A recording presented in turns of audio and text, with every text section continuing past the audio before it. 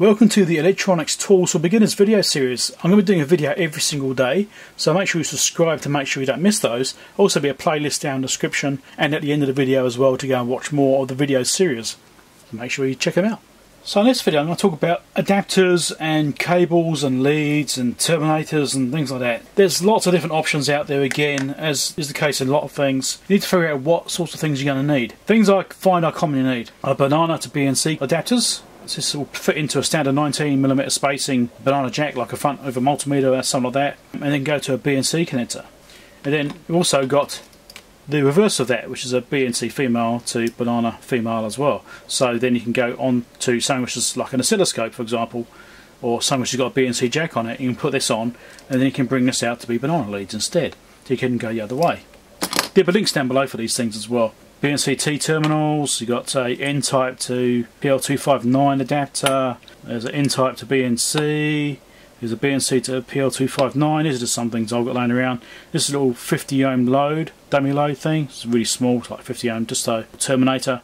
It can't take much power, it's like quarter watt resistor or something in there, so you know, some of that. Sometimes you need to just put a terminator on something to get a correct reading. Like if, you, if your oscilloscope, for example, has got a 50 ohm mode, but doesn't have a built-in 50 ohm load, because a lot of oscilloscopes don't, some do, but a lot of them don't, then you also need to put a terminator on there, like you'd use this T for example, and you would put the terminator on there, and then you've got a BNC cable hook up to wherever you're generating to see what's going on, in order to get the correct voltage measurements.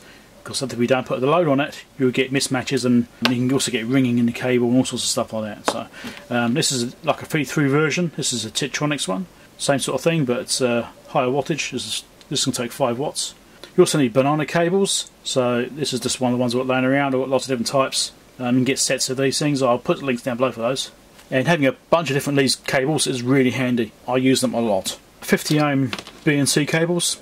Watch out for the resistance of these things, the impedance of these cables, because there's 50 ohm and there's 75 ohm, and the actual connections inside are different sizes. They're BNC, but one has got a bigger pin than the other and that can cause problems. You put a 75 ohm to a 50 ohm for example, you can actually stretch it out a little bit and actually damage the socket and things like that. So, so watch out for that. But get some 50 ohm cables because it's shielded, alright? The outer sleeve, the negative, is the shield. So if you want to try and reduce noise on your measurements, you could use a pair of these, one each, you know, one each end, but a BNC cable between them, gives you clean signals. Clip leads.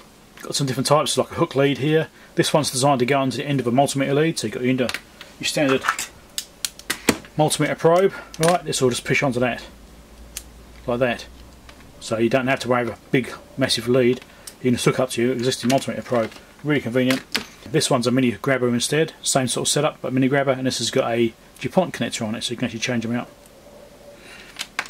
Crocodile clip lead, this particular one's for, got a banana jack on it, so you can plug it straight to your multimeter or whatever you're using. This is a Pomona one, high quality one. I've got a pair of these. Um, these are handy, having crocodile clips with these sorts of things on them. Also, just a crocodile clip lead, just something like this. Just crocodile clip to crocodile clip. Maybe this length or maybe shorter or longer, whatever.